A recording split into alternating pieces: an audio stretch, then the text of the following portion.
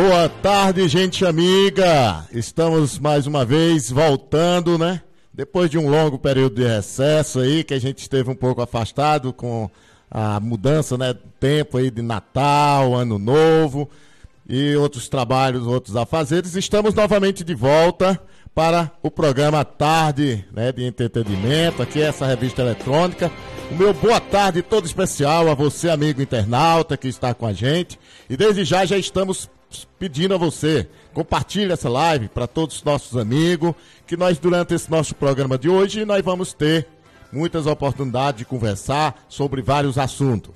Dentre eles nós vamos falar sobre o IBGE, que já está se aproximando, a reta final da, da, é, das inscrições para a seleção do IBGE. Vamos falar sobre outro, é, sobre a dengue, falar sobre vários assuntos que venham de interesse aqui pra gente, tá bom? Então, meu boa tarde todo especial a você que, nesse momento, sintoniza com a gente a TV Macário, essa TV que está de Alto Santo para o mundo. Portanto, boa tarde, vamos à nossa mensagem do dia.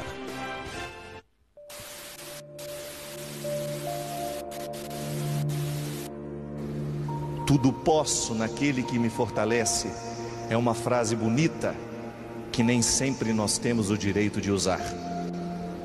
Tudo posso naquele que me fortalece.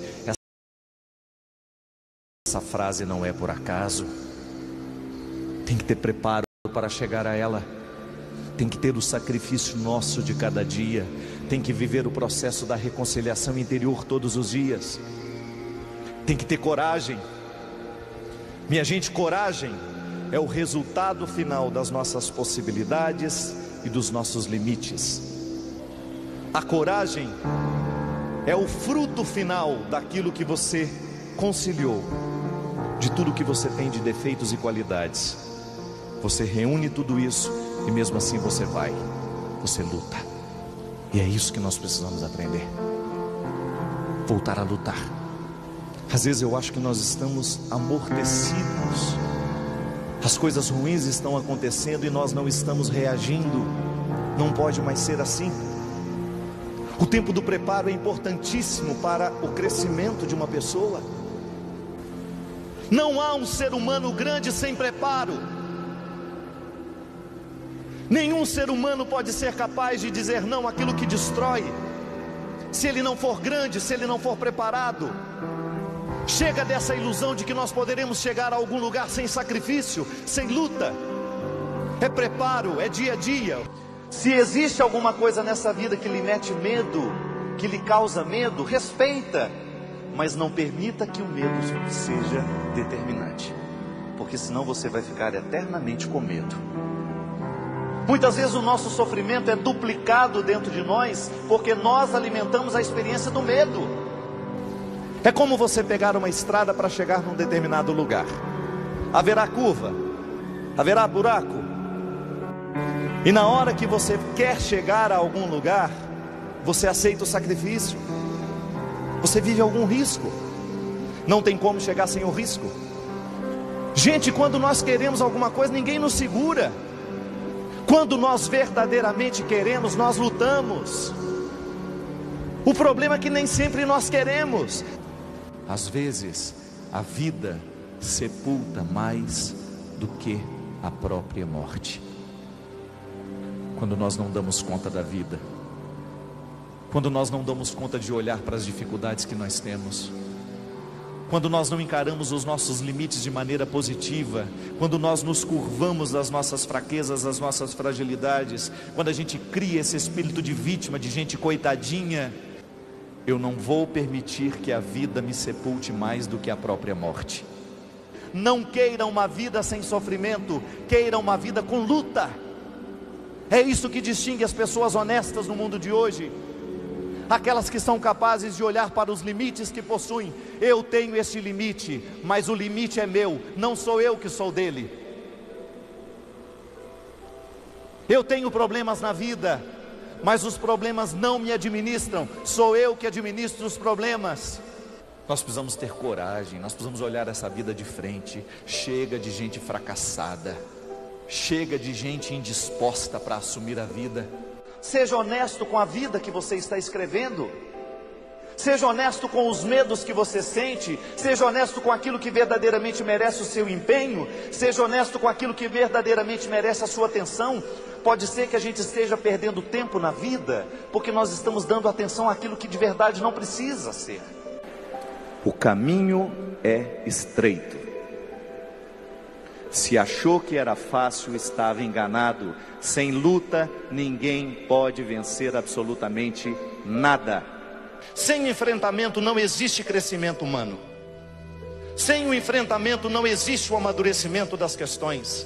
Se você fugir de você mesmo, se você fugir dos seus defeitos, é provável que você morra muito pior do que quando chegou ao mundo. O que a vida fez com você, me desculpe, eu não tenho como mudar. Muitas vezes nós não chegamos à resposta, é porque a gente ainda não fez a pergunta certa. Tome uma atitude a partir de hoje. Tenha coragem de colocar o seu sofrimento na mesa. Tenha coragem de olhar para ele. Que é que está gerando esse sofrimento na minha vida? Onde está a minha culpa? Onde é que está a minha responsabilidade diante de tudo isso que está sendo ruim? Onde é que eu estou errando para que esse sofrimento continue dentro de mim?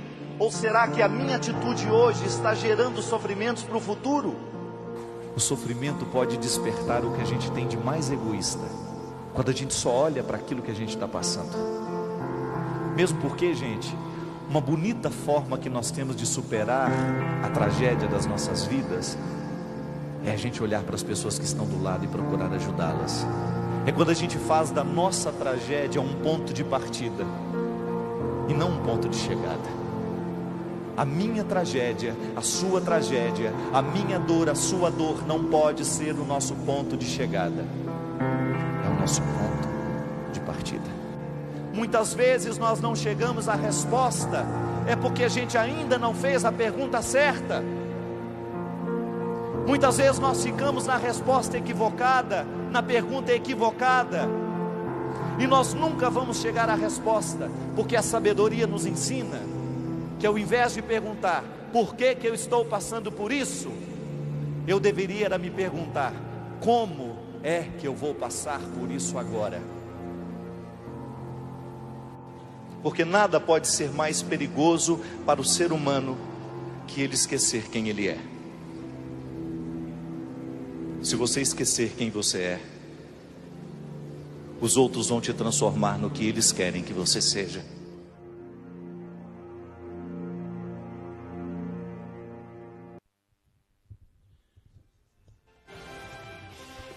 Então, gente amiga, a gente com essa reflexão, Padre Fábio de Mello fala muito bem nessa reflexão de hoje sobre a questão dos medos que temos em nossa vida. Medo de enfrentar muitas vezes a nossa própria vida.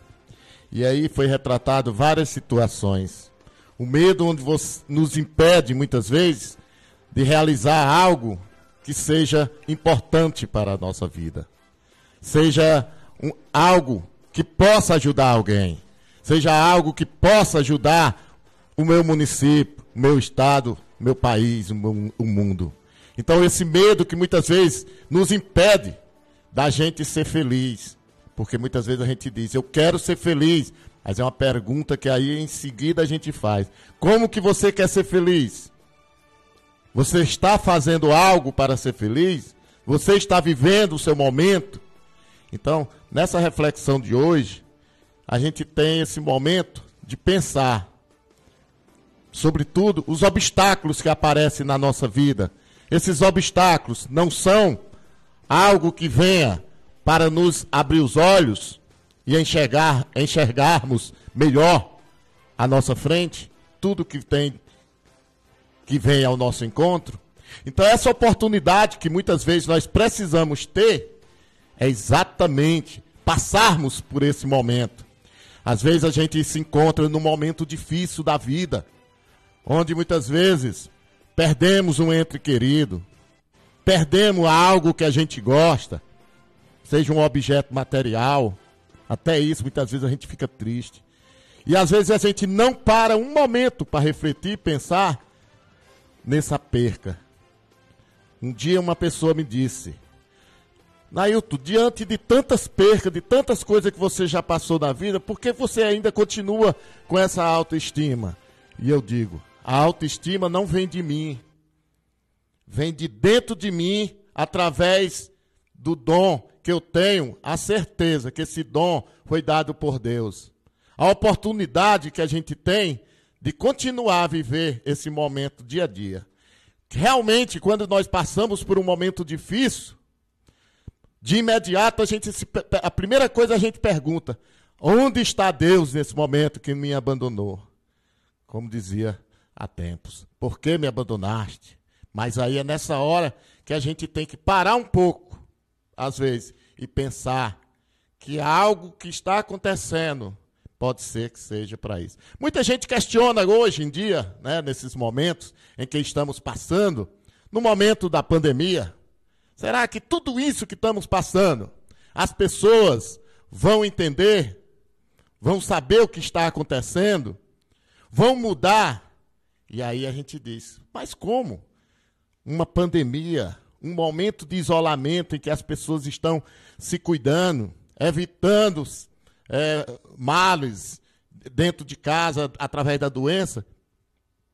Será que só isso vai fazer com que essa pessoa mude? Aí, cada um de nós temos uma resposta diferente. E aí a gente diz, mas é nesse momento que a resposta vem de Deus dentro de você, para que você pense e haja com o seu coração. E esse seu coração é quem faz você mudar. Muitas vezes não precisa nem mudar. Basta você ser você e não ser o outro. Porque muitas e muitas vezes a gente deixa, elimina aquele ser humano, aquela pessoa que existe dentro de você, para viver o outro.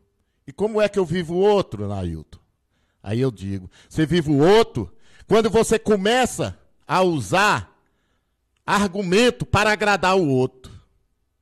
Você começa a fazer as coisas que o outro quer e que o outro gosta, e não que você quer fazer para lhe satisfazer através do dinheiro, da fama, seja lá de qual forma for, para melhor lhe servir. Você acha melhor viver o que o outro pensa de você. Existe um ditadozinho bem simples que todo mundo conhece, né? Tem o que, o que eu sou, o que, o que eu sou, o que eu penso ser e o que os outros pensam que eu sou. E aí, desses três, você tem que primeiro se enquadrar dentro de você. O que eu sou? Então, o que eu sou não é nem o que eu estou pensando e nem o que o outro pensa. É como eu estou vivendo. Então, eu quero mandar aqui um abraço todo especial já nessa, nessa tarde que estamos iniciando. Né? Muitas pessoas já sintonizando com a gente aqui, na sintonia da nossa é, TV Macaro, já, os internautas. E eu quero pedir que todos aí ajuda a gente aí, compartilhando, né? Mandando estrelinhas aí pra gente, que a gente tá aí em todas as redes sociais, né? E mandando sempre essa mensagem de otimismo, né, para todas as pessoas. Um abraço aí, minha amiga Eudeni Salles, meu grande, um grande abraço para você, Eudeni Salles. Aí, o Bira Holanda, lá em São Paulo. Nossa amiga Fátima Maia. Fátima Maia, agora eu já sei. Fatinha lá na. Lá no. No assentamento Lá no, no Rio Figueiredo, Platini. Na, lá em. Agora deu branco, mas eu sei. Lá em Otacílio, o vereador Otacílio. É, né? Então a sogra do nosso amigo Otacílio aí, Fátima Maia, Fatinha, minha grande amiga. Assistindo também com a gente o Kleber Santiago, né, o nosso amigo aí dos Correios. A Marli Moura, lá do Tibolo, diz que Deus é o nosso salvador de tudo. Com certeza, Marli. Eu não tenho dúvida disso. Pelas provocações e as provações que eu já passei na vida, isso me faz dizer a você, amigo internauta, que Deus existe. E Deus não é aquele, aquela pessoa que a gente vai dizer que ele vai lhe castigar, que vai se vingar do outro porque fez um mal a você. Não. Não pensemos dessa forma. Eu apenas penso que Deus existe. Por quê? E Ele é meu Salvador. Porque eu creio que nada de mal acontece a mim, porque eu sou protegido por ele. Então, não importa essas tempestades que existem na vida de cada um de nós. A gente supera, vence e passa. Então, um grande abraço aí para os nossos amigos internautas, a dona Graça aí, que é minha mãe, sempre assistindo a gente também, e muitas outras pessoas. Meu amigo Roberto de Jesus, um grande abraço, né? Na próxima semana nós vamos estar aqui com o Roberto também falando sobre o NUCA, né? Um trabalho que ele desenvolve aí com as crianças de Alto Santo. Então, meu amigo Platini, agora nós vamos falar um pouco agora sobre o momento atual que estamos vivendo, que é sobre a dengue, né? Vamos com a entrevista da nossa secretária de saúde, a doutora Rita de Cássia falando sobre o momento que estamos vivendo em Alto Santo sobre a dengue.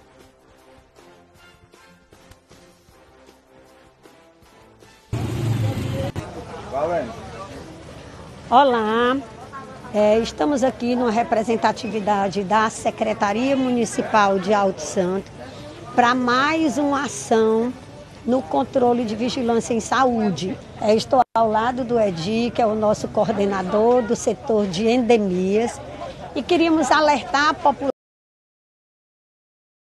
população de Alto Santo para os cuidados com as arboviroses. As arboviroses, elas compõem dengue, zika e chikungunya. Eu costumo dizer que todos nós muito, nos contentamos muito com a, chega, a chegada da quadra chuvosa. Mas toda essa alegria, ela vem acompanhada de muita preocupação. Preocupação com as nossas crianças que têm uma propensão maior às questões gastrointestinais, que são as famosas diarreias, né? é a proliferação também do maior número de moscas, e aí a gente também tem cuidado porque eles são vetores de doença, e também e a preocupação maior que são as arboviroses.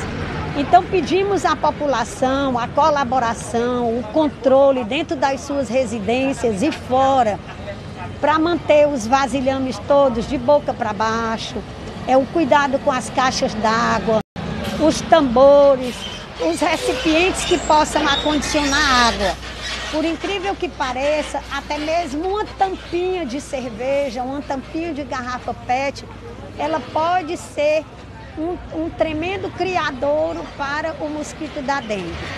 Nossos fiscais, nossos agentes de endemias, eles estão dia a dia nas suas residências. Na... Olá, gente amiga houve um pequeno probleminha aqui que vocês sabem, porque programa ao vivo é assim mesmo, né? A gente sempre tem um problemazinho extra. Então aconteceu um pequeno problema aqui na questão da matéria da doutora Rita. Daqui a pouquinho, quando a gente tiver tudo ok, aí a gente volta a passar. Mas aí a gente já quer lembrar que nesse momento a gente está querendo levar até você uma mensagem de otimismo, de esperança, de fé, mas sobretudo que tem certeza que você acredita no que nós acreditamos, que é em Deus. Quero mandar aqui um abraço especial pro meu amigo Antônio Bernardo, é o Toninho do Beck, viu, Pratinha? Toninho do Beck, lá em Brasília, né? Lá na terra dos homens que tem poder, que tem que tem um poder, mas não é o poder de Deus, é o poder do homem da terra que está lá, os deputados, senadores. Então, Toninho do Beck, um grande abraço para você, meu amigo, foi meu vizinho aqui no Alto Santo muito tempo, toda a sua família. Então, nosso também, outro amigo aí que está assistindo a gente, é o Amarildo Medre... Medeiros, cara. Amarildo mora lá na, na Terra Quente. Também é meu, meu amigo, também já morei lá. Eu sou um homem vivido, né? Moro quase todo canto. Meu Amarildo mora lá na nossa querida Cuiabá, lá em Mato Grosso. Então tá assistindo a gente também. Teve aqui, foi, eu, porque ele esteve aqui no Alto Santo visitando seus familiares. Viu? Joel está aí? Pronto, então, um abraço a todos vocês, meus amigos. E nosso amigo professor Joel quer dar uma palavrinha, professor Joel. Então nós vamos agora com o professor Joel aí, que já está na linha aí, para falar aí no nosso programa. Tá conectando? Certo. Mas enquanto isso, ó, daqui a pouquinho, eu vou trazer uma matéria muito importante, pessoal. É uma, uma matéria que tem uma importância muito grande para todos nós. É sobre o IBGE. O censo demográfico do Brasil está parado desde 2010. Pô, em 2020 era para ter sido o censo, porque é de 10 em 10 anos. E com essa pandemia, vem se alastrando de lá para cá, de 2020 até agora, 2022, já estamos. e não está tendo acontecendo. E esses dados que são coletados no IBGE é muito importante para o município, para o estado e para o Brasil. Para a gente ter uma noção de como é que está o estado, como é que está o nosso município, quantos número de habitantes. Então, esse IBGE, é, o censo, ele serve de referência para tudo que fazemos no, no país. É para se ter uma, uma eleição, a gente sabe quantos número de habitantes, se é para questão de, de é, verbas federais que vêm para o município, vem através do, do número de habitantes. Então, vai acontecer isso e daqui a pouquinho a gente tem uma matéria muito importante sobre isso. Viu? Pronto. Então, enquanto isso, eu quero mandar aqui um abraço, normalmente como eu estava falando, nosso amigo Amarildo, um grande abraço aí, Amarildo, aí na nossa querida Cuiabá, né? Tá aí acompanhando a gente. Boa tarde também, meu amigo Gardel. Gardel, esse guerreiro aí que está nas buscas aí do nosso amigo também, vizinho nosso, lá da, da, do bairro Tibolo, seu Ademar, todo mundo tá vendo aí, continua desaparecido. Então, daqui a pouquinho o, o Gardel, o próprio Platini vai, vai, dar, pode dar uma palavrinha pra gente aí, para saber como é os últimos, né, as últimas informações que tem do seu Ademar, como está o seu Ademar, se já foi localizado, tem alguma pista? Tem algum roteiro? Então, mas independente disso, gente, tá aí a, a foto do seu Ademar no vídeo. Esse senhor eu conheço muito bem, uma pessoa muito boa, vivia ali na uh, redondeza da nossa casa no Tibolo. Então continua ainda desaparecido, provavelmente ainda continua as informações que a gente tem. Mas aí qualquer informação, qualquer pista será muito importante, certo? Então nós vamos aí registrando ainda também a, participação aqui com a gente. Da nossa amiga Socorro Medeiros, Socorro Medeiros lá no Jardim, né? E da Célia, Célia Lima, que é minha irmã, também, um boa tarde aí da turma do Jardim Novo que está na escuta. Um grande abraço para todos vocês. Afinal de contas, todo o nosso querido Alto Santo está com a gente, porque a nossa TV Macaro sempre traz informações né, é, verdadeiras, corretas, sinceras não sem distorcer nenhuma informação, sem querer fazer algo de diferente, porque nós, a nossa intenção e a nossa responsabilidade é com a verdade. A informação, sobretudo com a verdade. Então, daqui a pouquinho, nós vamos continuar com mais informações. Certo? Ok? Professor? Então, pronto, já estamos na linha aqui com o professor Joel. Boa tarde, meu repórter, meu comunicador, meu meu amigo que tem as melhores informações para o nosso querido Alto Santo, Ceará e o Brasil e o mundo. Meu amigo Nailton, meu nobre Platini, a todos que fazem a TV Macário, meu boa tarde. É um prazer estar entrando no ar no programa do meu amigo Dailton, programa esse que realmente veio para engrandecer a TV Macário, e a gente fica muito feliz por participar.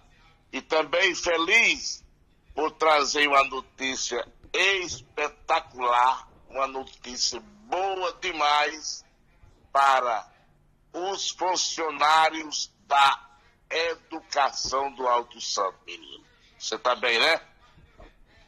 Com certeza, professor, com certeza essa informação deve, chegou em boa hora. Chegou, como disse uma colega minha, colocou no, no, numa das minhas postagens no, no Facebook, colocou, disse, a notícia veio com a chuva, só benças. É verdade. Então, para deixar bem explicado, vou, vou tentar aqui se, falar na, na, na minha língua, ver se o povo fica bem entendido, né? Tá certo? Beleza. Então, todos os funcionários, serventuário, porteiro, vigia, diretor, professor, vai ter direito ao rateio. Só não tem direito ao rateio somente a secretária de Educação, eu disse, acredita? É a que mais Mas, trabalha, né? Hein? E é a que mais trabalha. O resto todo mundo vai receber. Por exemplo, alguém perguntar quanto eu vou receber um vigia. Então, vigia, merendeira, é, secret... é, é, é secretário. Auxiliar também. de serviço. Esses pessoal vão receber direito a um mês de salário do que eles ganhavam. Você está entendendo? Certo, certo. Agora, professor que tem 200 horas, ele vai receber uma bolada boa. Quem tem 100 horas também vai receber bem. Então, quem é professor vai, vai, vai, vai ser uma, uma bolada boa que dá para tirar o pé da lama. Só tem uma diferença, professor, também, porque tem a questão também de, do, do período que trabalhou durante o ano de 2021. Teve professor que entrou só a partir de agosto. Então é diferente de quem entrou desde janeiro, fevereiro, né? É, realmente é Porque diferente. tem a contagem do, do período que trabalhou durante os meses, para não ser, para ser a justiça ser justa, não ser, quer dizer, a pessoa que começou a trabalhar só em agosto tem direito à mesma coisa que quem trabalhou em janeiro. Então tem essa diferença, certo? Mas- Exatamente. Você explicou aí. Pronto, é dessa maneira aí, tá certo? Certo.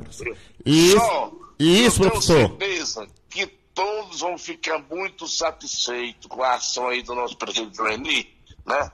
Do, do nosso secretário Gildi, do nosso secretário de Finanças Alberto, né?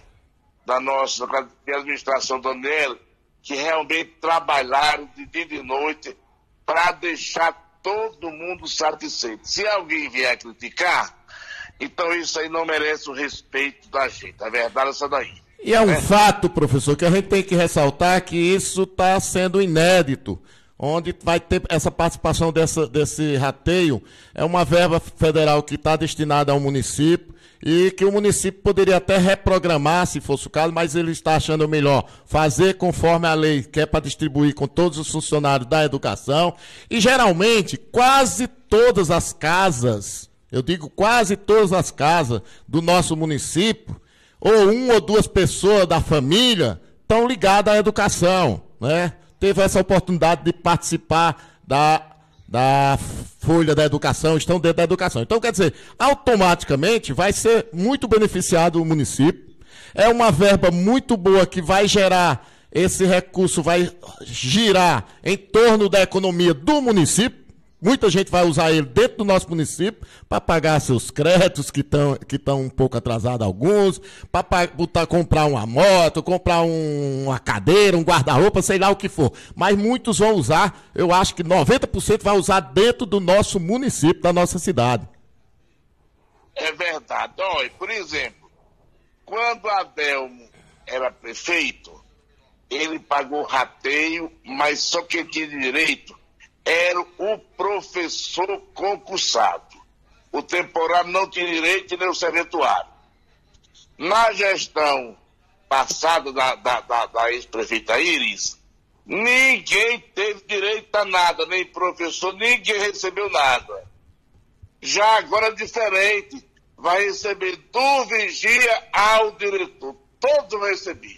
É uma coisa inédita, realmente, como você falou, é uma coisa inédita. E tira o chapéu para o prefeito Joeni e a vice Karina Aquino e os secretários que trabalham incansavelmente aí, viu, menino? Isso assumindo um compromisso que ele mesmo disse em campanha, já dizia que se viesse a ter dinheiro de sobra, seria rateado com todos, e assim ele está cumprindo com seus compromissos, né? Assum- diante de tantas obras, de, tanto- de- de tantos trabalhos, de tanta eh, eficiência dos seus secretários que estão trabalhando em prol dos nossos munícipes. Então, quer dizer, mais uma ação que já está sendo cumprida. Eu acho que daquelas 55 que ele prometeu, nós acho que nós já vamos, já vamos é com mais de 65, né?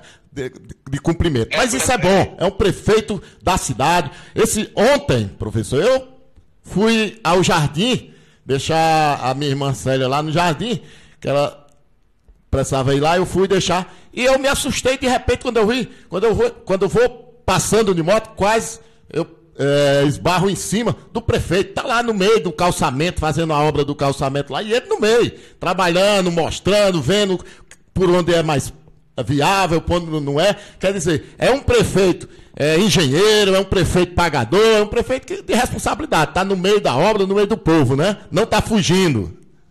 Exatamente, você explicou tudo, tudo isso aí.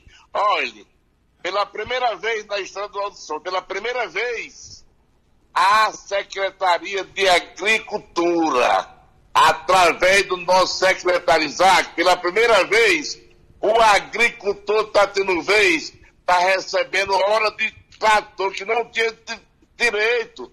Foi um trabalho incansável do nosso prefeito, do nosso vereador Tarcílio, que mostrado esforço isso aí, do nosso secretário Isaac.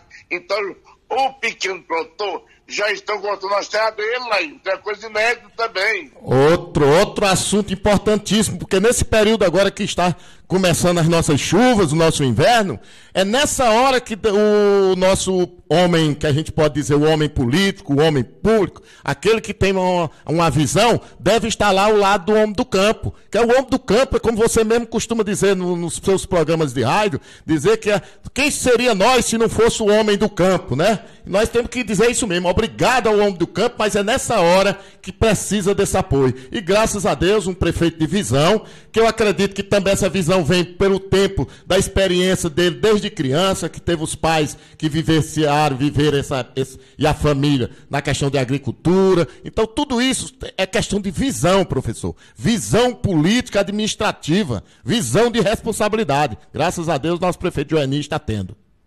É verdade. E para concluir, Naim, aí professor, tu perguntando os professores, eu recebo quanto? Eu recebo quanto? Oi? Vai, vai, vai ter uma variação entre 6 mil a 16 mil. Tem professor que recebe 6, outros 10, outros 15. Vai variar nisso aí, viu, menino? Menino, cuidado, menino, porque senão eu, eu, eu já estou aqui para desistir do programa para ir trabalhar agora só como professor. Valeu, menino! Valeu, obrigado, professor! Então é isso aí, gente, amiga. É, o professor já adiantou e nós vamos agora passar um, um vídeo onde nós. Não, não é só nós que estamos dizendo que vai ter esse rateio no município do Alto Santo. Claro que é um sonho de todos os funcionários da educação que estavam esperando por esse momento, mas, primeiro que tudo, teria que ter a responsabilidade e o compromisso do administrador, do gestor local, no caso o nosso prefeito Joeni Holanda, juntamente com a vice Karina Aquino, e sobretudo da nossa secretária de educação, a professora, que é professora, professora Geudi Gugel, que também assume esse compromisso de ratear esse dinheiro. Então, quer dizer, o professor esqueceu de dizer, e o próprio Joeni vai já dizer, são mais de 3 milhões de dinheiro, de reais, um dinheiro que vai ser é, esse dinheiro vai gerir a economia do município. Então, nós vamos ouvir agora do próprio Joeni, ele anunciando esse rateio para os nossos profissionais da educação. Boa tarde a todos os profissionais da educação.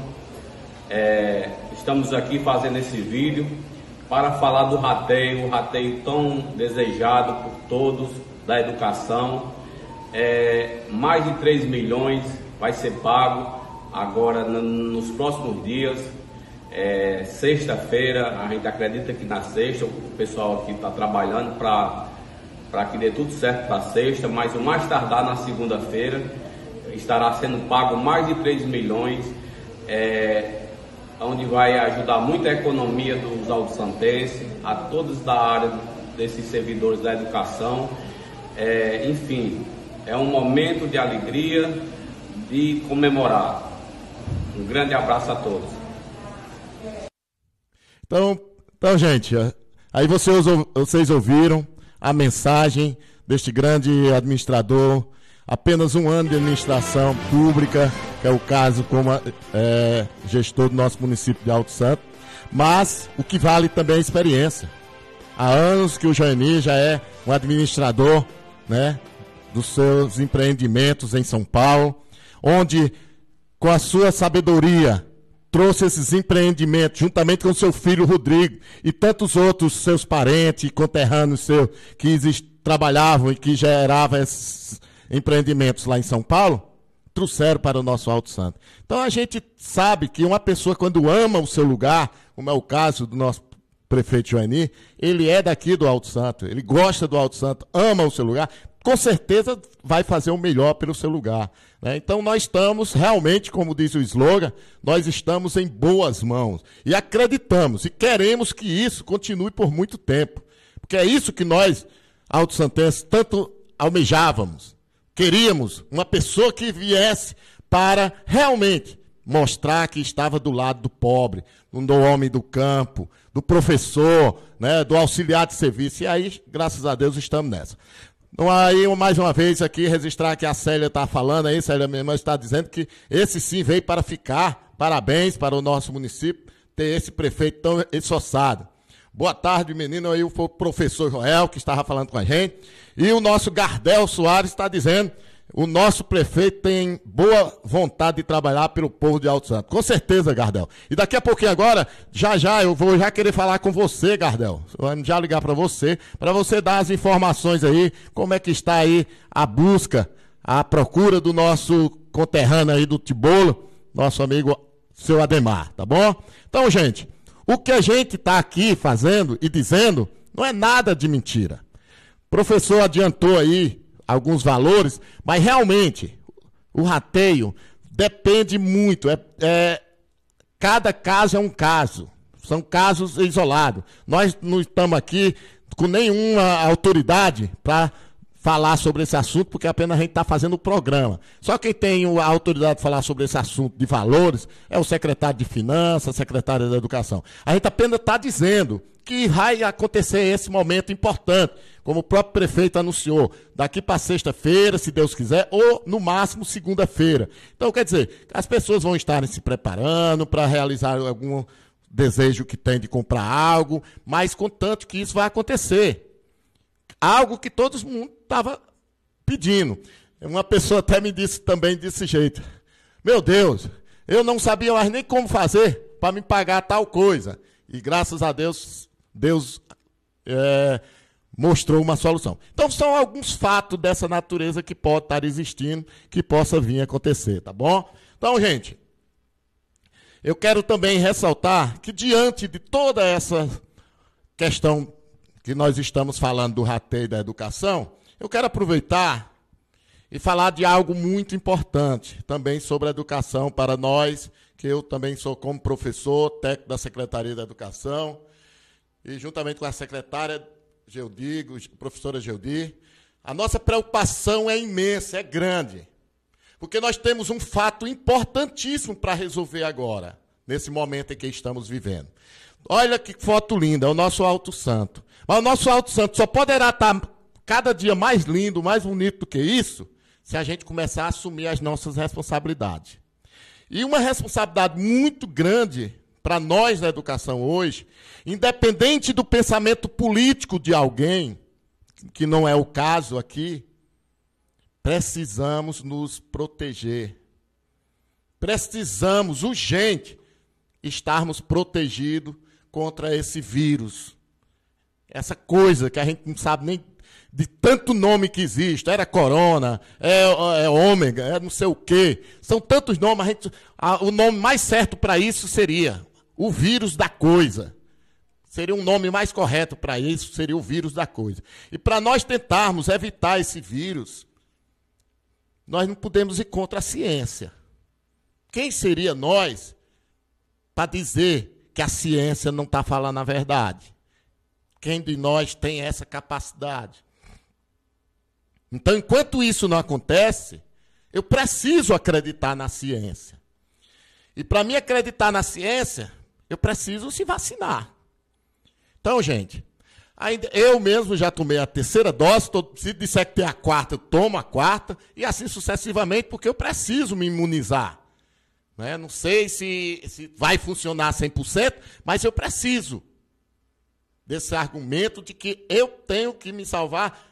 Por enquanto, se for através da ciência, pode ser que seja através da vacina. Então, precisamos se vacinar. E aí, quase 80% ou mais dos adultos já estão vacinados. É por isso que está dando outra epidemia de, de, de é, pandemia aí do vírus, né? De novamente, juntamente agora com esse período de chegando as chuvas de gripe. E aí é muito complicado. Muitas vezes ninguém sabe se o sintoma é de gripe ou se é de corona, do Covid. Então, assim, é muito complicado, mas precisamos tentar nos, é, é, nos proteger. E para isso é a vacina. Se o adulto já está vacinado e está tendo essa cautela, menos caso, menos internamento, menos óbitos, precisamos agora já que chegou a vez das crianças. Porque se já está liberado para funcionar as escolas, as crianças têm que estarem vacinadas. Então aqui a gente faz, independente de cor partidária, de vínculo religioso, vamos pela ciência. Pedir aos pais de família, aos responsáveis por crianças que é de 5 a 11 anos, que não se cadastrem na plataforma, procure alguém, se não souber, para cadastrar essa criança, para tomar a vacina. Até o momento, nós estamos acreditando que o maior salvador do mundo é Deus. Claro que Deus que não vai nos dar a nossa vida sempre. Mas acreditamos que a vacina, pela ciência, também pode nos proteger. Então, dando esse voto de credibilidade à, à, à ciência, vamos proteger a nossa criança, levando a vacinação, né? primeiro cadastrando no site né, da plataforma da saúde no estado, cadastrando a criança para que essa criança possa ser é, beneficiada com essa vacina. E aí, nós já estamos bem próximo de termos o nosso momento de volta às aulas. Eu, como educador, juntamente na Secretaria da Educação, a gente já está fazendo todos os trâmites, todos os trabalhos de preparação para o início das aulas, que deverá retornar início, depois desse recesso todo de as crianças em casa. Até que prova o contrário, poderá acontecer o retorno no dia 1 de fevereiro. Então a gente vai, até lá a gente vai se preparando, vai vendo os acontecimentos para que isso possa estarmos preparados e receber essas crianças. Mas, diante disso, as nossas escolas já passaram por uma ampla é, reforma, preparação. Prefeito, juntamente com a secretária, já fizeram um trabalho bem amplo em todas as escolas, estão reformando, estão dando condições de acolher essas crianças para voltarem no dia 1 de fevereiro. Mas, daqui para lá, o que temos que fazer? Procurar a plataforma do governo, no site, ou então a Secretaria de Saúde ou a Secretaria da Educação, para nós é, atingir essas crianças com o máximo possível de vacina. Vamos ver se a gente consegue vacinar o máximo de todas as crianças, independente, como eu já falei, eu gosto muito de citar isso, independente de político A ou B, se é contra ou a favor da vacina, como eu disse no início na nossa reflexão. Pense por você, não pense pelo que o outro diz. Se o outro está dizendo que a vacina não presta, que a vacina não serve, agora eu pergunto, e você, acredita ou não acredita? Se acredita, cadastre seu filho de 5 anos a 11 anos, para que ele tenha a oportunidade de voltar à escola, ser atendido e ser, né, tá bem imune, né, se Deus quiser, com a ciência protegendo a gente. Então, nossa amiga Rosemary, Josimere Rodrigues, um grande abraço. Nossa amiga diretora aí de escola, Maria Nilena, a Nilene aí, do, do, a professora Nilene, assistindo a gente. Né? Um grande, da, da UCESINA, da, da UMC. Então, um grande abraço para a diretora aí, professora Nilene, acompanhando nosso trabalho aqui. E reforçando que nós só somos nós graças àquilo que nós cremos. Eu creio eu me vacinei porque eu acredito. Então, se você acredita, independente, se eu fosse acreditar no que o outro diz, eu, tinha, eu já ouvi tanta coisa que já tinha desistido de, de eu já tinha me entregado para o tal do Covid. Mas não, vamos enfrentando ele, porque eu acredito que nós somos mais fortes do que ele, certo? Vamos um comercialzinho aí. Aí daqui a pouquinho eu quero voltar tentando conversar com meu amigo Gardel. Tá, Gardel, quero falar com você para você contar aqui alguma coisa sobre o desaparecimento do nosso amigo seu Ademar.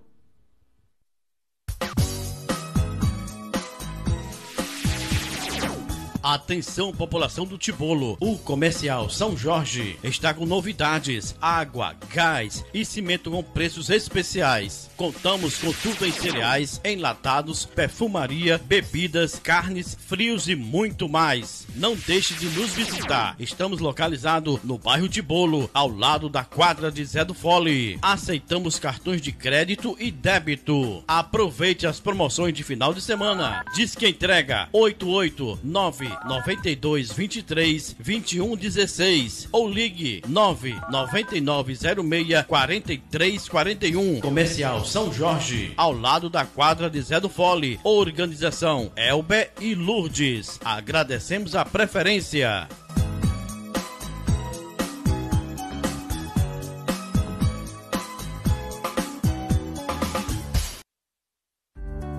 WK Solar. Localizada no centro de Limoeiro do Norte, somos referência em toda a região quando o assunto é energia solar.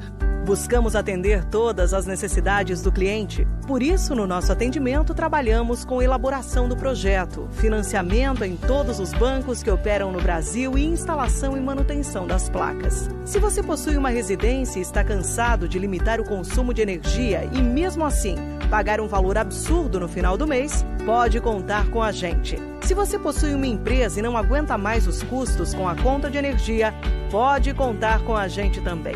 O nosso trabalho é proporcionar uma economia e uma melhor qualidade de vida para o maior número de pessoas. Entre em contato e solicite gratuitamente um orçamento.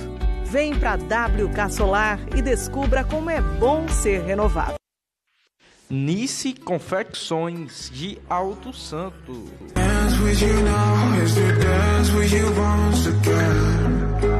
Moda feminina, masculina, adulto e infantil. Moda praia e moda íntima no varejo. All I want is to dance with you now to the beat of your love. It feels like dum dum dum da da da da da da da dum dum dum da da da da da da da da dum dum dum da da da da Nice Confecções, Rua João Vitor Moura, número 59, em Alto Santo. Nice Confecções.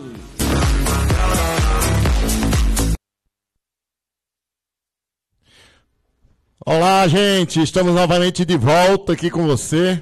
E agora eu quero falar do tema que eu, como eu no início do nosso programa anunciei, o tema sobre o IBGE. O IBGE, todos nós sabemos, conhecemos o que, que significa, né? O IBGE é o Instituto Brasileiro de Geografia e Estatística. Esse instituto ele tem por obrigação de fazer um trabalho de 10 em 10 anos para o governo, né, que é um instituto que trata para fazer um trabalho para o governo, para coletar dados. Então, muitos de nós, eu acho que quase todos nós, né, já fomos abordados né, por alguém chamado recenseador para dar uma entrevista sobre sua data de nascimento, é, quantos moram na casa, se é, alguém trabalha, quanto ganha. Geralmente tem essas perguntas. E aí a gente tem a obrigação de responder, porque perante a lei, existe uma lei federal, que se você se negar a prestar informações para o IBGE, você poderá ser punido. Porque é uma, é uma coisa importante para o governo, né, para o Estado, para o município, para o Estado e para o Brasil. Né, porque ele tudo se baseia através desses dados. E aí, por conta disso, existe esse primeiro trabalho de seleção das pessoas para trabalhar. Nós aqui em Alto Santo, nós vamos falar diretamente relacionado ao município de Alto Santo. Existem é, 16 cargos. Primeiro é um agente comunitário, que é o responsável geral pelo, é, pelo escritório, que vai estar em contato diretamente com o IBGE, no caso nós aqui de Alto Santo, com o setor responsável, que é em Limoeiro. E outra pessoa que vai estar uma pessoa, né? Que é o agente censitário responsável, que é essa pessoa, como se fosse o gerente do escritório do IBGE no município de Alto Santo. Será um cargo de uma pessoa. Existe uma seleção para essa pessoa. A pessoa se inscreve para esse cargo. Existe uma outra pessoa que se chama supervisor. É o supervisor que vai acompanhar os trabalhos dos recenseadores, né, que vai fazer os trabalhos de coleta. Esses recenseadores serão acompanhados por esse supervisor, que também é um cargo só que ficará no escritório para atender e sair nos setores onde os recenseadores trabalham. Dois cargos independentes. São duas seleções separadas. E o terceiro é 14 vagas. São 14 vagas para recenseadores. Esses recenseadores são aquelas pessoas que vão sair nas casas, entrevistando, e tudo coletando através de um instrumentozinho parecido com o celular, né? tipo um celular, um tablet, e vai anotando tudo para passar para o escritório geral para nós. E aí esses dados servem demais, é importantíssimo para o nosso município. E eu quero ressaltar aqui uma importância, antes da, da gente colocar é, a reportagem que nós temos aqui, que foi feita com o pessoal do, do escritório do IBGE em, em Limoeiro. Pessoal, uma notícia que é muito importante para nós é que nós não podemos deixar nenhum auto-santense, nenhum. Se você souber, na hora que começar essa coleta de dados, informe a, ao recenseador, fulano mora, morava aqui, mas agora está morando em tal canto, e vai ajudando, porque é importantíssimo o número de habitantes para o nosso município. Todos os municípios têm que correr atrás dos seus habitantes, para não faltar nenhum, porque isso interfere. Isso interfere, claro, interfere em tudo que o governo federal for fazer para o nosso município, vai depender dos dados que são coletados no IBGE, no censo. Então, de repente, nós somos hoje, hoje nós somos no município de Alto Santo 16 mil e, e poucos habitantes. Vamos fazer de conta que, que eu acredito seja mais ou menos isso, uns 16.500 habitantes. Aí, de repente, nós não chega mais a esses 16.500 é, 16 habitantes. Tem uma queda porque fulano ou ciclano disse, não, eu não vou responder as perguntas do IBGE. Eu não quero participar disso. Mas como é que ele é um cidadão que vai receber benefício da saúde, da educação, do esporte, de verba que vem para calçamento, para tudo? O governo federal se baseia pelos dados que tem do censo daquele ano. E hoje ainda está funcionando os dados do censo de 2010. E agora nós vamos ter o censo de 2000, que era 2020 e agora 2022. Se Deus quiser, que já está com dois anos que é adiado, se Deus quiser, esse ano vai funcionar. E aí, pessoal, a gente já deixa um alerta bem sério. Vamos ser todos entrevistados, vamos todos informar como estão os nossos cidadãos, onde está o nosso Alto Santense, para que isso seja atingido. A nossa meta que seja essa. Não é interessante que nossa população, que em 2010 era 16 mil e pouco, e hoje ela caia. Por quê? Muito pelo contrário, se o nosso município está em pleno desenvolvimento, está crescendo, está de vento em polpa, como a gente diz, por que, que diminuiu os habitantes? Todo dia chega gente de fora para morar no nosso querido Alto Santo, que são todos bem-vindos, são bem acolhidos, que vem gente para trabalhar e desenvolver mais ainda o nosso município. Então, nós pretendemos e acreditamos que o nosso censo vai ser sério, vai ser bem feito e vai dar uma boa taxa bem maior do que esses 16 mil habitantes. Então, para isso, fica esse nosso apelo já eu sei que os meninos do, do escritório de Limoeiro vão fazer também esse apelo, mas eu, como Alto Santense, que sou de coração e de alma, que eu gosto, eu amo o Alto Santo, eu estarei sim recebendo o recenseador para dar a minha entrevista e dizer que sou um Alto Santense, com certeza. Então, vamos aí ouvir agora aí a entrevista aí com o pessoal de Limoeiro do Norte, do escritório do IBGE. Pessoal, bom dia, boa tarde, independente do horário que você for assistir esse vídeo, nós somos do IBGE, meu nome é Israel, estou com o Renato, com a Bruna, fazemos parte do IBGE, queremos convocar vocês, é, habitantes de, de, Alto Santo, é, a fim de se inscrever, de garantir uma vaga de oportunidade de trabalho. Você que quer ser recenseador, agente censitário municipal, agente censitário supervisor, no, estão dois editais abertos, vocês poderão se inscrever e de repente trabalhar para fim de trabalho de coleta do Censo Demográfico 2022, certo? O Renato pode trazer mais informações, local de inscrição. É, as inscrições estão abertas até dia 21, né, de janeiro. E poderá ser inscrito através do site da FGV, que é a banca organizadora do certame. Sobre a taxa de inscrição para a CMACS são R$ 60,50, para recenseador R$ 57,50 é, a, as provas serão realizadas no próprio município, certo? É, para o cargo de ACM ACS, a prova aplicada de ensino médio, certo? E recenseador ensino fundamental. Vocês podem se inscrever no, do, do, através desse link que o Renato passou. Vocês podem se inscrever tanto para ACM ACS como para recenseador. São horários, horários diferentes, certo? A pessoa que se inscreve para recenseador a prova é à tarde e para ACM ACS período da prova é pela manhã, então você pode concorrer a alguma dessas vagas. Lembrando, até o dia 21 de janeiro. O prazo se encerra até sexta-feira. Para? ACM é uma vaga, para ACS uma vaga e para recenseador são 14 vagas. Isso. Então, gente amiga, você ouviu aí? Olha só, até o próprio escritório geral do IBGE em Limoeiro está fazendo esse apelo, convocando, né, pedindo para as pessoas participar. Então eu quero também aqui aproveitar e mandar um abraço aqui para nossa amiga Alcione Maia, lá no Ipanema. Grande abraço, Alcione. Nossa amiga Maria Martins, né? Dona Maria Martins aí, dando boa tarde aí para todos. Então, pessoal, mais uma vez eu quero reforçar agora, além dessa parte que eu já falei, que é a obrigação que nós temos de prestar essas informações ao IBGE na hora que a gente for convocado, que o recenseador chegar em nossas casas para fazer essa entrevista. Mas está acontecendo uma, uma coisa agora que eu faço agora esse apelo para os nossos jovens, principalmente do Alto Santo. São 14 vagas para recenseadores. E hoje eu perguntei a esses rapazes do escritório quantas pessoas estavam inscritas até agora para recenseador, porque eles têm esse controle, né? Mesmo feito no site, mas eles têm um controle. Até o momento só existe 17 pessoas inscritas. Então quer dizer, para uma, uma época em que nós estamos com falta de emprego, então uma oportunidade de trabalho aí de, de três meses, né? Provavelmente, provavelmente começar é, é para começar em julho, julho, agosto, setembro e quem sabe outubro, são três meses ou mais.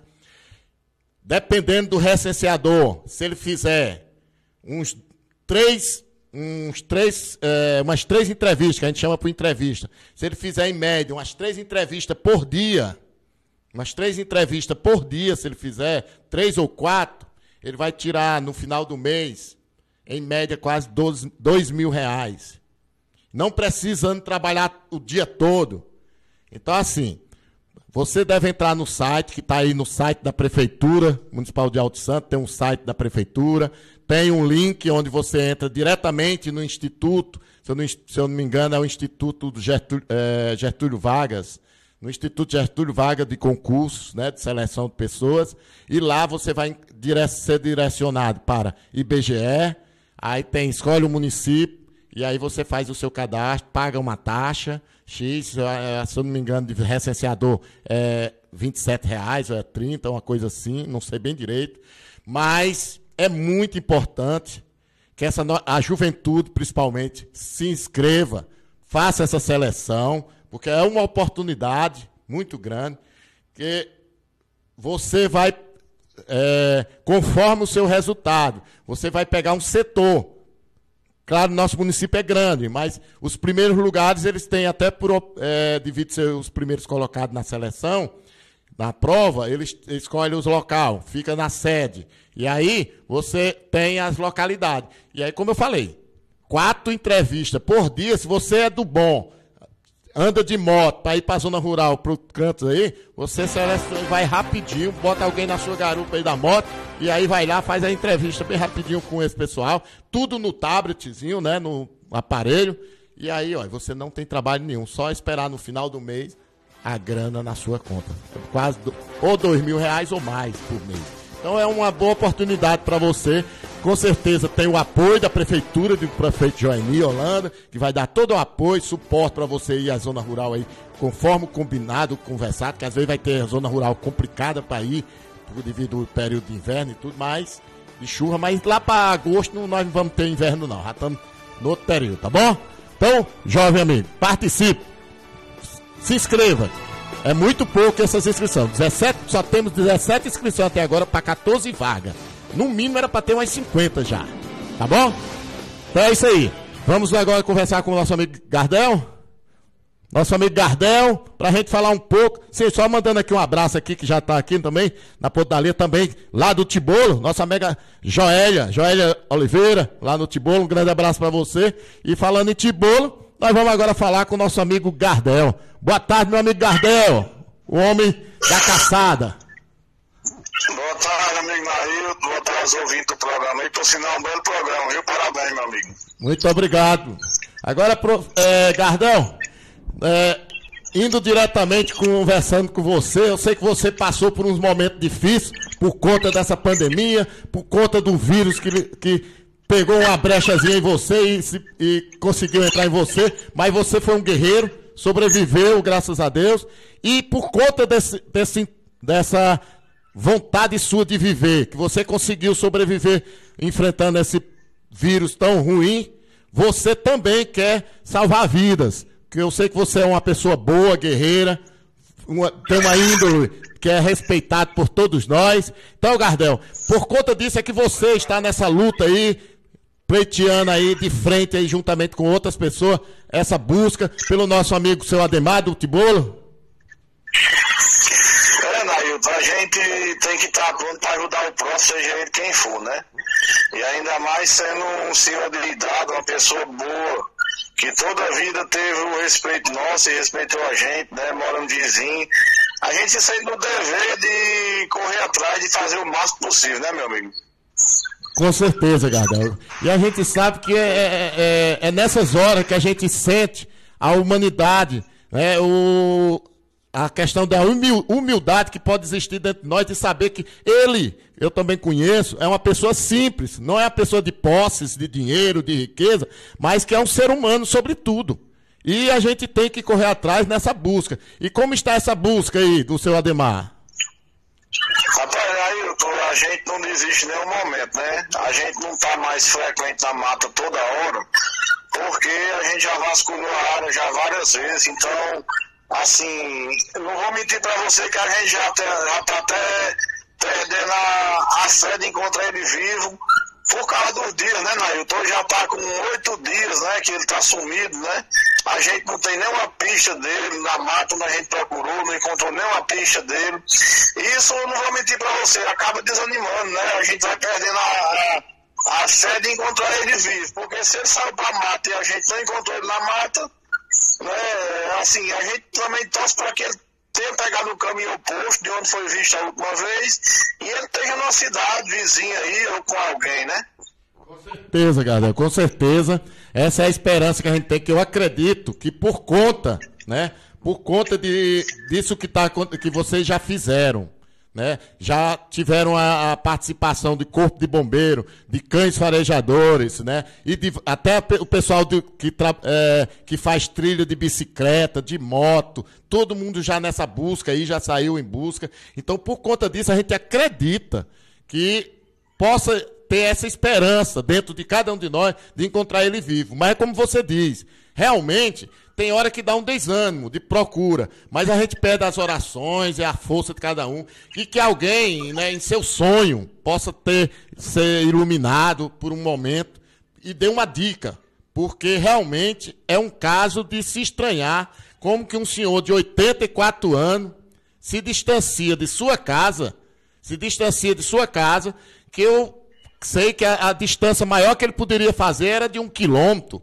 por conta da, da idade, e ele que, segundo informações, estava fragilizado com uma ferida no pé, algo assim, então quer dizer, não podia ir muito longe. E se alguém, eu, eu não tenho essa, essa hipótese dentro de mim não, mas se por acaso alguém tiver com o seu Ademar, é, seria interessante, importantíssimo, que até devolvesse para a família, para que ele pudesse aliviar essa angústia que está nos corações dos familiares, dos amigos e até mesmo das pessoas que estão em busca, porque isso é muito angustiante, você procurar uma coisa e não achar. Mas eu acredito que não exista pessoa do mal que possa estar né, com o seu Ademar é, preso a um local, uma coisa assim, para que ele não possa aparecer. Porque realmente é muito estranho essa, é, esse desaparecimento assim de um nada, sem encontrar nem sequer uma pista. Mas a gente tem essa esperança, né? É, Nailton, a gente pensa várias coisas, né? Chega ao ponto de pensar muita coisa, passar muita coisa na cabeça da gente. Por quê? Um senhor de 84 anos, estava com o pé machucado, não conseguia andar muito. Sim, esse ele não conseguia andar muito, e como que nós não conseguimos encontrar? Se ele conseguiu é, superar esse problema e conseguiu andar muito, ninguém viu ele em nenhum canto. Ah, deu muita repercussão, queria agradecer a, a ajuda do nosso amigo Platini aí da TV Macário, é, que está empenhado no máximo em noticiar, que ajuda muito, né? Isso, é, as pessoas da cidade vizinha é, ficam sabendo e com certeza com qualquer notícia avisa a gente. Mas chega um ponto que a gente fica pensando tudo que pode acontecer hoje, do jeito que a gente vê as coisas no mundo, né? De ele ter pegado uma carona na estrada e ter ido para algum canto, alguém pode ter feito alguma coisa com ele, que tudo é possível, né? Isso são pensamentos de vida. Oito dias você está procurando, igual procura uma agulha, e não ter encontrado pista de nada, né, Nailton? É muito estranho, né? Com certeza, Gardel. Mas aí o importante é que vocês estão nessa luta, nessa correria aí, que eu sei que você tem os outros a fazer, como nosso amigo Bibi, né, que também teve aí na, no dia a dia, né? Nosso amigo Luiz, Luiz também que eu vi que é aí do Tibolo, uma pessoa boa, também conhece o Ademar, também teve na frente. E assim, como você colocou, a TV Macaro, sempre à frente desse trabalho, outras TV como a TV Iracema e outros canais de comunicações por todo o Ceará estão divulgando. Então, quer dizer, nós estamos, como diz, fazendo a nossa parte. Mas o mais importante é que quando nós estamos fazendo a nossa parte, é olhar para o sentimento que nesse momento está acontecendo dentro das famí da família, porque como estão se sentindo. Então, mesmo sendo uma pessoa de idade, quem é de nós que quer perder um ente querido nosso assim, no desaparecimento de um nada, né? Mas eu acredito que se Deus quiser, ele vai aparecer, vai aparecer com vida e vai dar novo ânimo a todos nós e vamos agradecer a Deus sempre. Então, Gardel, eu quero agradecer e só dizer que você faz um trabalho excelente e que é isso, meu amigo. Ser humano é isso, é você não medir esforço de estar ao lado do outro. Beleza, meu amigo. Beleza, com certeza. Eu queria agradecer aqui a todas as pessoas, apesar de até agora a gente não ter tido na nossa procura, mas não foi por falta de empenho. Todo mundo, meu amigo Bibi, meu Luiz aqui, a toda a população de Timor em peso, deixou até suas coisas para fazer, para ir atrás dele. Isso mostra o lado humano, né? Isso mostra que não está perdido ainda o mundo, né? Que as pessoas ainda se preocupam com o próximo ainda. Nessas horas que a gente sabe quem é quem. E todo mundo tem à disposição, né? E a luta continua. Qualquer pista que a gente souber, nós estamos atrás dele, para se Deus quiser, nós encontrar ele. Valeu, meu amigo Gardel. Obrigadão aí, um abração aí pra você. Aí eu sei que até o Davi aí tava na luta também. Então um abraço pra você, pro Davi e a Gilvânia aí. Um grande abraço, meu amigo. Obrigado aí, estamos à disposição do que precisar, meu amigo. Da hora. Olha, pessoal, vou mandar aqui um abraço também para nossa amiga Leudes Bezerro, né? Diretora aí da escola aí do Jardim, nossa amiga Leudo, boa tarde. Nosso amigo Nicodemos Bessa, lá em Fortaleza, um boa tarde, meu amigo Nicodemos, também esteve aqui no Alto Santo, visitou e eu sei que curtiu um bocado. Disse que foi até experimentar das tripas lá do Teté. Até as tripas do Teté o Nicodemo comeu. O professor Joel levou ele lá. Então, assim, é muito bom quando os nossos conterrâneos, como o Nicodemo, há tempos está morando em Fortaleza, mas que volta ao nosso município de Alto Santo. E aí, quando está aqui em Alto Santo, é, vai passear, vai visitar essa, a família e ver o quanto Alto Santo mudou para melhor, cada vez mais, graças a Deus. Minha amiga Daiane Lima também, outra amiga lá do Tibolo. Então tá tudo com a gente aí. Tá bom? Pronto, vamos lá. Então agora nós queremos, né? Daqui a pouquinho a gente está encerrando o nosso programa, mas não esquecendo que você tem a oportunidade de curtir o melhor do forró, do piseiro local, que é as nossas as amigas, as patroas do forró. Não perca que as, as patroas do forró é uma oportunidade que você tem de curtir aquele piseiro bem arrochado aí, né? Então baixe agora aí no canal da sua música, as patroas do forró. É desse jeito assim, é? É desse jeito assim que elas mostram como é o piseiro. Então, meus amigos, não esqueçam de, de baixar na plataforma aí sua música, As Patroas do Forró, certo? Ó, pessoal, não foi possível a gente conseguir aqui adaptar o vídeo da nossa querida secretária doutora Rita, mas eu quero finalizar o programa dizendo qual é o assunto. O assunto é que, diante de tantas coisas que a gente está vivendo, sempre aparece algo mais para a gente apertar a gente um pouquinho, para a gente tomar uma providência, para a gente se preocupar mais um pouquinho. E aí, é nesse período agora chuvoso, que a gente tanto quer que chova mesmo, porque o inverno é bom demais. Né? Eu que o diga que quando eu subo para a Serra do Pereiro, Quando eu passo, que eu vejo aquelas águas é, escorrendo na serra, descendo naquelas ribaceiras, e até chegar à cachoeira ali do Tomé Vieira, é muito lindo, é muito bonito. Então, é, são coisas lindas, bonitas, maravilhosas que nós temos de apreciar, que é a natureza. Mas não podemos des, é, descuidar da nossa responsabilidade. Qual é a nossa responsabilidade? É tomar cuidado com aqueles potinhos, garrafa, com aquelas coisas que a gente às vezes costuma armazenar em casa. E aí, quando a gente guarda garrafas sem uso, potinhos, plantas com os potinhos de baixo, é, pneu, aquele sofá velho a gente encosta lá no canto do muro onde ele vai juntando água. E aí, nesses locais onde vai juntando essas águas, o que, o que acontece? Lá vem um morador para nossa casa. O tal do mosquito Aedes aegypti, né? Ele vem. Ele vem se instalar, morar na nossa casa. E aí o que, que acontece quando ele vem morar na nossa casa? Ele não traz só coisa boa. Ele vem logo com o negócio de dar uma picadinha na gente, e aí dessa picadinha a gente pode pegar a dengue. Então cuidado, amigo. Não faça isso. Não deixe armazenar água parada em sua casa. É essa a mensagem da Secretaria de Saúde do município. Nosso amigo coordenador, o Didi, Didi que é um esforçado, né? Trabalha dia e noite com seus, é, é, com seus funcionários que são né, da, da, da pasta dele, os agentes de edemias as agentes de saúde. Então estão todos os dias visitando as casas e dizendo: olha, cuidado com isso, cuidado com aquilo. Não deixe a caixa d'água descoberta. Não deixe o esgoto parado com a água aí acumulando. Então vamos ter cuidado realmente para evitar que a Maria, já basta a gente, essa preocupação tão grande nossa com esse vírus. E aí a gente tem que se preocupar também com esse mosquito cada vez mais.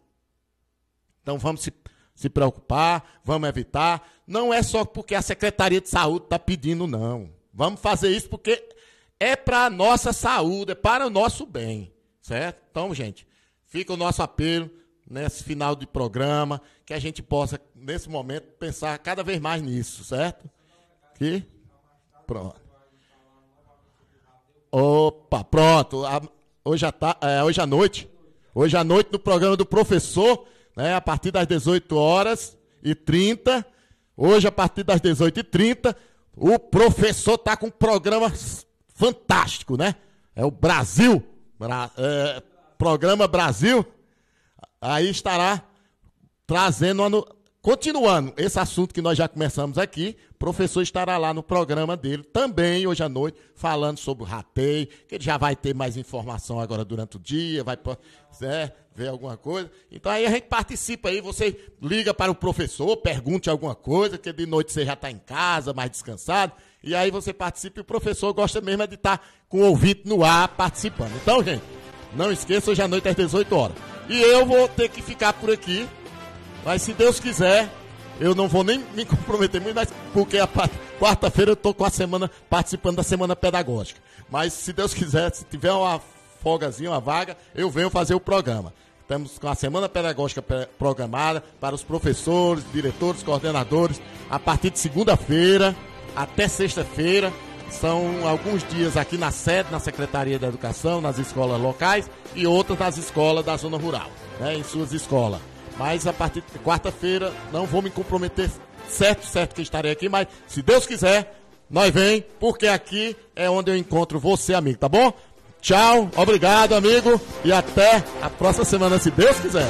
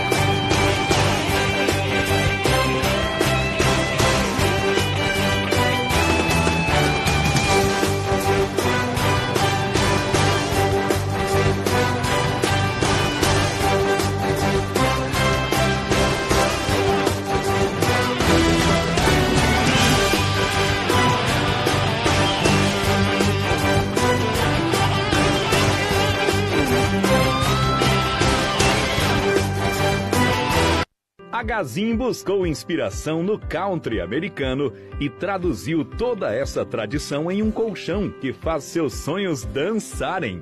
Esse é o colchão Country King, que mantém a harmonia do aconchego e qualidade no ritmo do sono ideal. O produto possui revestimento superior em malha.